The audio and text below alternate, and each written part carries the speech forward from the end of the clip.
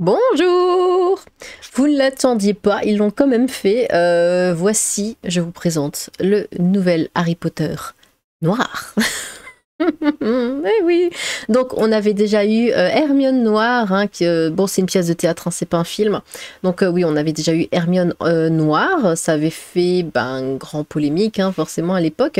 Maintenant nous avons Harry Potter Noir parce qu'ils adorent la polémique. Harry Potter officiellement incarné par un acteur noir pour la première fois. Parce qu'ils n'apprennent toujours pas apparemment. C'est une nouvelle première euh, mondiale pour la pièce de théâtre Harry Potter et l'enfant maudit. À Hambourg, l'acteur euh, Michael B. Sattler, un acteur noir, a incarné pour la première fois le personnage éponyme de la pièce. Le format théâtral bénéficie d'une liberté artistique inhérente à Batuméton, contrairement au cinéma où un acteur unique incarne un rôle spécifique. Les acteurs de théâtre apprennent souvent plusieurs rôles pour se remplacer les uns les autres en cas d'absence. Donc le blanc était absent, ils ont mis le. Alors qu'il a été recruté pour incarner le professeur Mazzoni, le Choixpeau et ou euh, Payne, euh, Michael B. Sattler a ainsi enfilé les lunettes du rôle titre.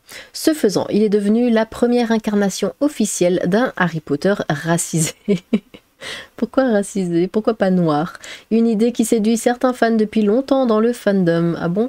L'artiste Vondel Swain expliquait ainsi en 2015 qu'il imaginait Harry Potter métis et James Potter noir de peau, fan art d'illustration, ok, pourquoi pas.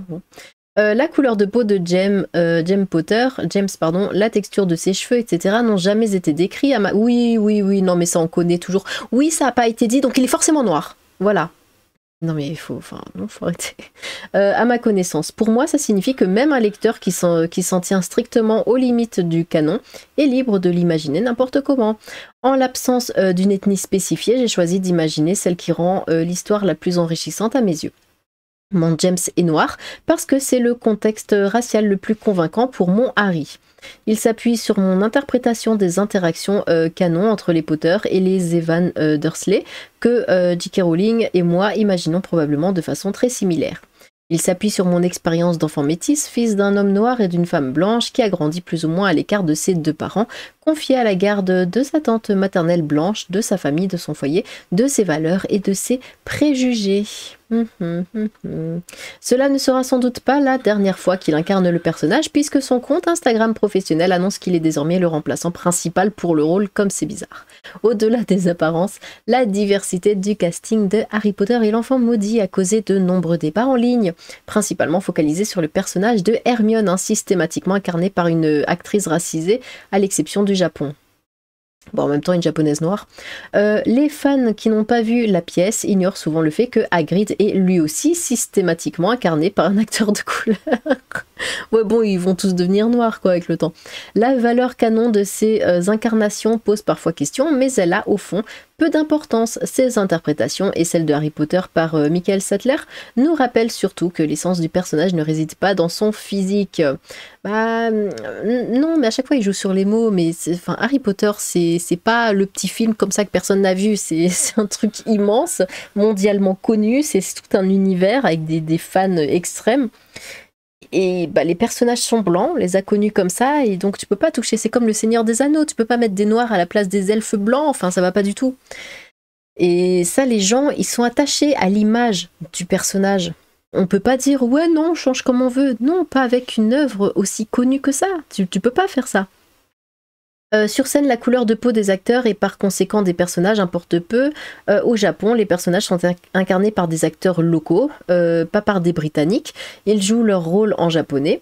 en Allemagne, acteurs et personnages parlent allemand. Oui, non mais là, faut pas, faut pas confondre la couleur de peau et juste la nationalité.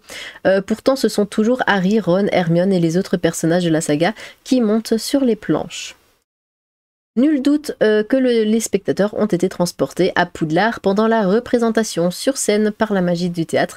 Euh, Michael Sattler était Harry Potter, pas un Harry Potter noir, mais en dehors, il incarne désormais un précédent euh, pour tout le Wizarding World.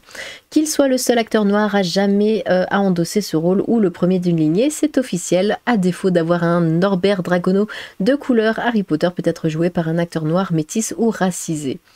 C'est le beau message qu'a voulu faire passer euh, Michael Sattler et il vaut la peine de le partager. Non mais vous avez tous le même message pour absolument toutes les œuvres qui existent. Il faudrait, enfin, je sais pas, peut-être se renouveler un petit peu, je ne sais pas. Euh, au lieu de remplacer tous les personnages blancs par des noirs, euh, qu'est-ce que vous faites? C'est redondant à force. Hein. Euh, sauf qu'il oublie quelque chose. Premièrement, nous savons que les Potter sont depuis plusieurs générations et même de très longues générations enregistrés à Poudlard, une école de sorciers qui est à Londres, dont le procédé euh, magique choisit les élèves d'une certaine manière. Ce qui montre que ce sont des résidents qui habitent au minimum dans le coin euh, depuis plusieurs générations. Deuxièmement, la lignée, car c'est important si je ne me trompe pas avec l'histoire, qui relie Harry Potter et la cape d'invisibilité qui fait partie de l'une des reliques de la mort. Le classe donc dans une famille de sorciers de sang pur qui a, oui le chat, qui a ses racines bien ancrées dans un certain coin. Euh, il aura donc du mal à avoir le teint métissé des pays du Sud. Bien qu'on me dira qu'il il y a plusieurs de ses camarades dans son école qui ont la peau métissée, mais comme je l'ai dit, la lignée et l'histoire jouent ou ce n'est pas parce que euh, je ne veux pas d'un Harry Potter noir. Sincèrement, je m'en siphonne. Je, veux euh, juste répondre à la logique de ce monsieur qui s'imagine et qui n'a l'air euh, de ne pas avoir vraiment suivi l'histoire. Après, bien entendu, au théâtre, on s'en fout un peu. Dans une pièce de théâtre, cela ne me dérange pas, car c'est le jeu d'acteur euh, qui est le plus important.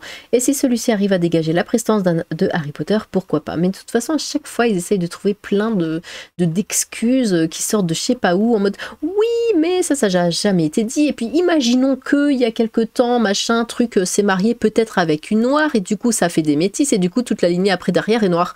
Mais pourquoi? Enfin, c'est c'est comme, euh, je reviens avec ça, mais avec le Seigneur des Anneaux, par exemple, bon, ils ont mis une reine. Euh, non, c'est pas le Seigneur des Anneaux, c'était euh, les Anneaux de pouvoir. Ils ont mis une reine naine, déjà. une reine naine, bon, noire.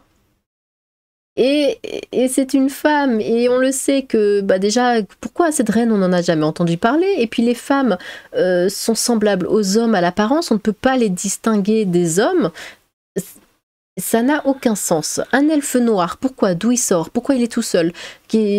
Non, ça n'a aucun sens.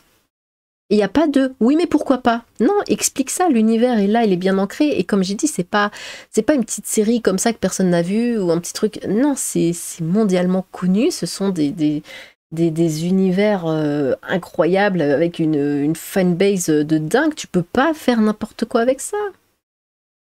Et encore, euh, je trouve que la fanbase, euh, on va dire, du Seigneur des Anneaux, ça va. Euh, Harry Potter, bon, ils sont, ils sont un peu chauds, mais il y a beaucoup de woke, donc à la rigueur. Mais admettons Star Wars. Si vous commencez à changer, parce que je connais quelques fans de Star Wars, ils pètent des plombs, hein, un petit changement et c'est fini, il n'y a plus personne.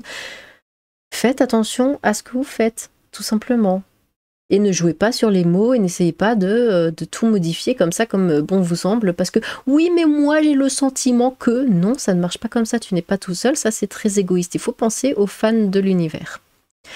Euh, bon, eh bien, dites-moi ce que vous pensez de ce Harry Potter noir. Est-ce que vous le trouvez convaincant? Est-ce que ça vous plaît? Est-ce que ça vous déplaît? N'hésitez pas à vous exprimer dans les commentaires. J'ai hâte de vous lire. Sur ce, tchou